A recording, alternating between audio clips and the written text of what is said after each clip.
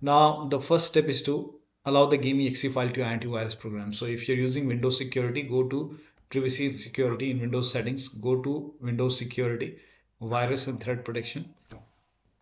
Scroll down at the bottom, click on Manage Ransomware Protection.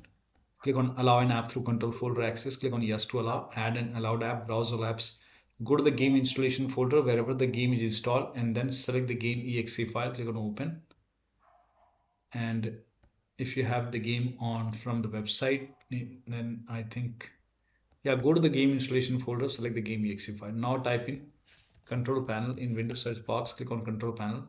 Uh, system and security Windows Defender firewall. Allow an app or feature through Windows Defender firewall. Change settings.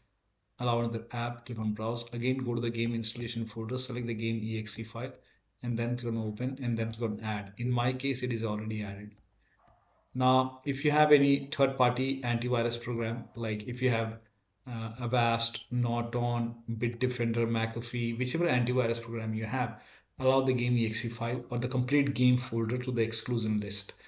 Now close third-party application like if you have Riot Vanguard or any other anti-cheat program running, close all third-party application.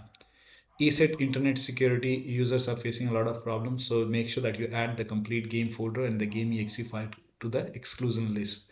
So you might find these options in your ESET internet security software. So you can go to these location and then you can exclude the game folder from scanning and add the game folder and the game exe file to exclusion list and then you can check. Next step is to disconnect and reconnect Wi-Fi. Now simply disconnect and reconnect it. And then you can check. Still not working the next step is to if you're using Wi-Fi switch to Ethernet connection. So if you're using Wi-Fi uh, if your if your computer has a Ethernet port and if you have a Ethernet cable you can switch to wired connection and then check. Now if you're already using Ethernet in that case you can turn on the Wi-Fi and you can connect to Wi-Fi and then you can check. Switch to different network network. If you have any other network available uh, then in that case you can switch to different network and then you can check and you can even use mobile hotspot. So turn on the data on the phone turn on the hotspot on your phone and then you can connect to your phone network. You will see your phone network over here. Uh, you can connect to your phone network and then check. Next step is to turn off or turn on VPN so if you're if you're using VPN turn it off close it close the VPN and then relaunch the game. If you have a VPN you can even turn it on and then check. So Try both on and off and close VPN and then check. Next step is to perform power cycle. For this, shut down your computer, unplug the power cable from the computer, turn off Wi-Fi router, wait for few seconds, restart your Wi-Fi router, and then connect the power cable back to the computer and then restart your computer and after the system restart, you can check. Next step is to try Google DNS server. Now for this, type in control panel in Windows search box, click on control panel, network and internet, network and sharing center. Click on your internet. Go to properties. Over here select internet protocol version 4 tcp ipv4 select properties. Use the following dns server addresses.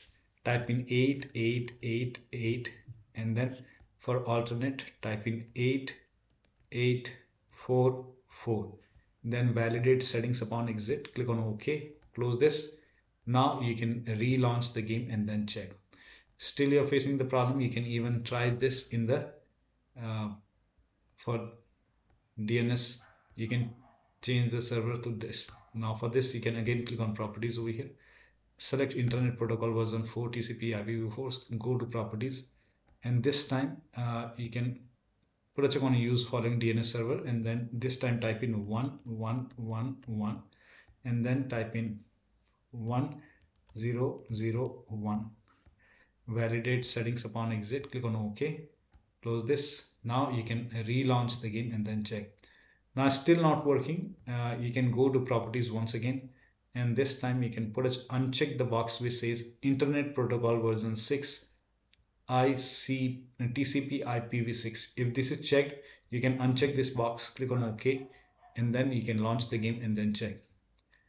Now still not working in that case uh, once you are done playing the game if it is working fine. And once you're done playing the game you can put the put the check on internet protocol version 6 once again and then still not working then follow the next step. Now still not working if you're already using manual DNS servers you can select internet protocol version 4 TCP IP go to properties put a check on obtain DNS server address automatic go to default click on OK close this relaunch the game and then check still not working. The next step is to run the game as an administrator. Now I think the game is already running as an administrator. You, you can if you are using Steam you can exit Steam and then you can launch Steam as an administrator and then you can launch the game.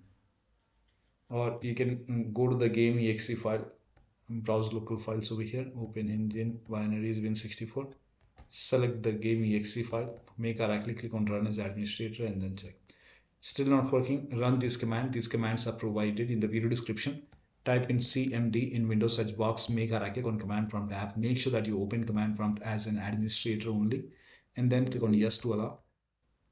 Copy all these commands one by one and then paste it over here. Hit the enter key. All the commands are provided in the video description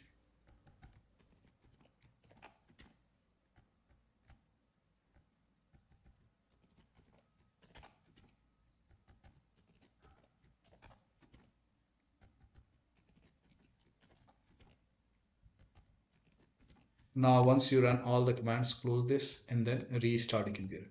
And after the system restart, you can check. Still not working. The next step is to make sure date, time, time zone and reason is correct on your computer. So at the bottom right here, you can see the date and time. Make a right click on date and time.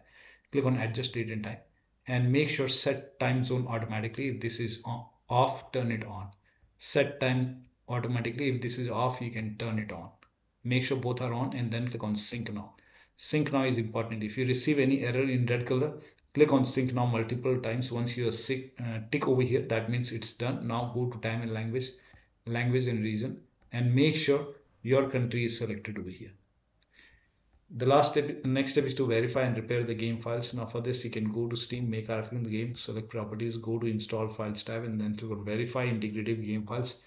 Once the verification is 100% complete launch the game the last step is to update Windows to the latest version. For this, you can open Windows settings, go to Windows Update or Update and Security. Click on Check for Update. Once all the updates are installed over here, then restart your computer. After the system restart, you can launch the game.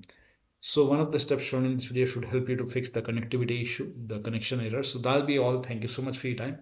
And please like this video and subscribe to my channel.